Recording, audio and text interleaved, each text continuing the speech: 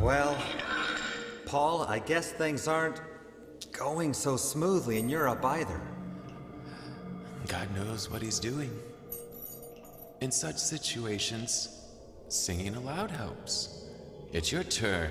Give us a song. You mean we should actually start praising God in our situation? God knows what he's doing. Just trust him. Trust him? Well, maybe you're right. Großer Gott, wir loben. Do you hear that?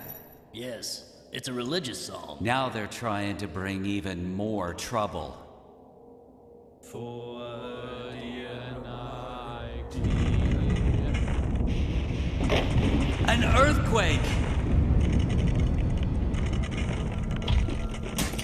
By Zeus and all the gods, all the prisoners are gone. I'm. I'm ruined. May the gods have mercy on me. Don't harm yourself. All of us are still here. Uh, What did you say? Lights. Who. Who are you? You must be gods or angels. Well, we certainly aren't angels. We are messengers of Jesus Christ. Please, please be guest in my house. You've saved my life, and I would like to do something for you. Huh. Well, before we get beaten again, For all have sinned and fallen short of God's glory.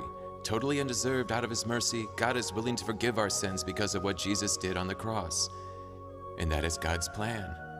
Not more and not less.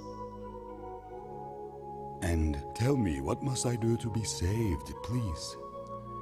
Jesus Christ our Lord rose from the dead. If you accept him as your Lord and trust in him, then you and your family will be saved. I want to trust in Jesus and the only Lord, and God with all my heart. I want to trust in Jesus. Me too. And I too want to trust in the Lord God. And Huh. the only Lord and God knows what he's doing. The journey continues.